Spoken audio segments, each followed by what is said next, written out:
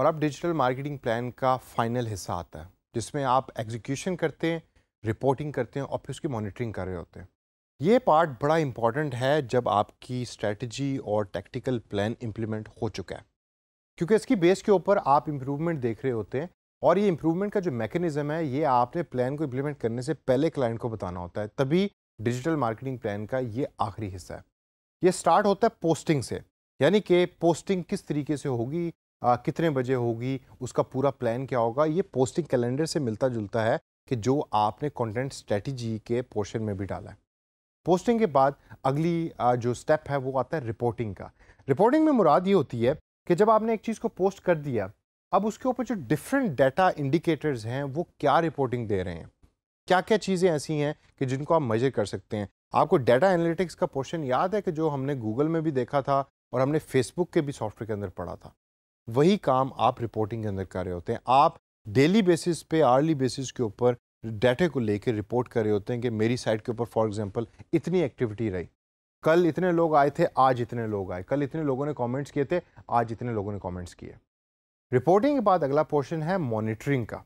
For example monitoring के अंदर आप एज ए पुलिस मैन ये देख रहे होते हैं कि जो ऑब्जेक्टिव्स आपने स्टार्ट में सेट किए थे, क्या वो अचीव भी हो पा रहे हैं या नहीं हो पा रहे? आपके कंटेंट की बेस के ऊपर।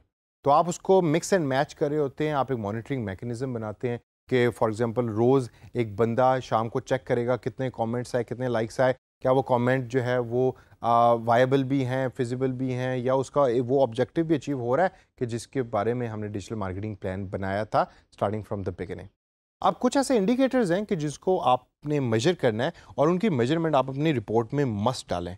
और जब क्लाइंट ये देखेगा कि आप इन इंडिकेटर्स की बेस के ऊपर मॉनिटरिंग कर रहे हैं तो आई एम प्रीटी श्योर कि the client is going to be very happy सबसे पहला है साइट एक्टिविटी आप ये देखते हैं कि आपकी साइट के ऊपर एक्टिविटी क्या है? ज़्यादा है, कम है?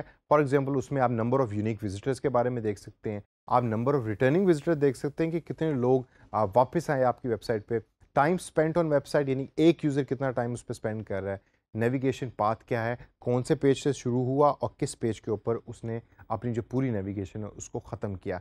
एग्जिट रेट कितना है, कितने लोग आपकी वेबसाइट को छोड़ गए हैं और लीड जनरेशन रेट कितना है। लीड जनरेशन मतलब है कि एक्चुअल सेलिंग क्या हो रही है, कितने लोग फॉर्म फिल कर रहे हैं, कितने लोग परचेज कर रहे हैं, कितने लोग आपका कंटेंट पढ़ रहे हैं।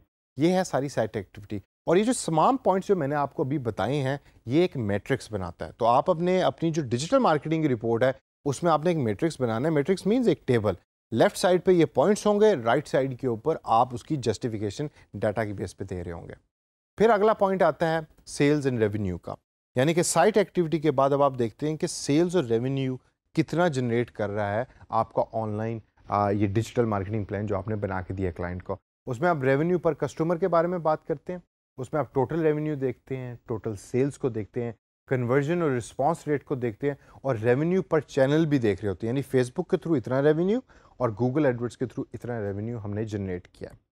फिर प्रॉफिटेबिलिटी रिपोर्ट आप बना रहे होते हैं, जिसमें आप कॉस्ट पर लीड निकालते हैं कि जी एक लीड को जनरेट करने के लिए हमारी पाँच रुपये कॉस्ट आई।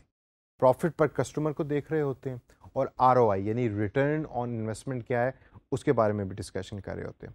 और एंड के अंदर कस्टमर इंगेजमेंट रिपोर्ट आप बना रहे होते हैं कि जिसके अंदर आप रिटेंशन रेट के बारे में बात करते हैं, आप number of likes and shares के बारे में बात करते हैं। आप ये भी देखते हैं कि फॉलोअर्स मेरे बड़े या कम हुए और लास्ट के अंदर टोटल कमेंट्स कितने रिसीव हुए आपके इस कंटेंट के ऊपर जो आपने पोस्ट किया। अब ये जो पॉइंट्स मैंने आपको बताए हैं, इन तीन चीज़ों के हेड के अंदर, ये तमाम वो पॉइंट्स हैं कि जो आपने यूज़ करने हैं अपने डिजिटल मार्केट प्लान के एंड के अंदर। और जब आप ये तमाम पॉइंट्स यूज़ कर लेंगे तो इवेंचुअल गोल जो एक डिजिटल मार्केटिंग प्लान का होता है, वो होता है ब्रांड रेपुटेशन और अगर ब्रांड रेपुटेशन को आप मेज़रमेंट की तरफ़ लेके जाएँ, जो एक बड़ा इंपॉर्टेंट इंडिकेटर भी है तो उसमें जो जो सी चीज़ें यूज़ होंगी, उसमें टॉप पे आप मार्केट शेयर देखेंगे. सेकंड नंबर के ऊपर सर्च इंजन रैंकिंग देख रहे होंगे कि आपकी वो तमाम एक्टिविटी क्या सर्च इंजन रैंकिंग के अंदर भी अपीयर हो रही है कि नहीं हो रही. पॉजिटिव और नेगेटिव कंटेंट्स का मिक्सचर देखेंगे कि कंटेंट जो कमेंट्स आ रहा है कंटेंट के ऊपर वो पॉजिटिव आ रहे हैं कि नेगेटिव आ रहे हैं? और लास्ट के अंदर मीडिया ऑडिट भी आप कर रहे होंगे कि जो मीडिया आपने यूज़ किया, क्या वो रेलेवेंट था और ब्रांड रेपुटेशन उसकी बेस पे बढ़ी या नहीं बढ़ी और यहाँ आप डिजिटल मार्केटिंग प्लान का जो डॉक्यूमेंट है, वो फिनिश कर दे देंगे और एंड कर देंगे। तो दोस्तों, ये वाला जो पार्ट है, जो लास्ट का मॉनिटरिंग और रिपोर्टिंग का, ये ज़रा थोड़ा सा कॉम्प्लेक्स है। लेकिन ये तमाम पॉइंट्स के जो मैंने आपको बताया, अगर आप इसको जहन में रखते हैं और आप एक डॉक्यूमेंट बना लेते हैं, जिसके अंदर आपने डिफरेंट पेजेस के ऊपर डिफरेंट टेबल्स बनाए हुए हैं और ये एक एक पॉइंट जिसके अंदर brand reputation customer engagement sales and revenue या साइट एक्टिविटी उन तमाम का एक टेम्पलेट बना हुआ है तो आपके लिए सिर्फ़ इन्फॉर्मेशन उसमें एंटर करनी होगी डिफरेंट क्लाइंट्स के लिए। बाकी तमाम चीज़ें आपके लिए ऑलरेडी सेट हैं। तो इसको प्रैक्टिस कीजिए, जहन में रखिए, ताकि जब आप एक एडवांस डिजिटल मार्केटिंग बन जाएँ और डिजिटल मार्केटिंग प्लान बनाने की बारी आए तो ये चीज़ें आप खुद कर सकें।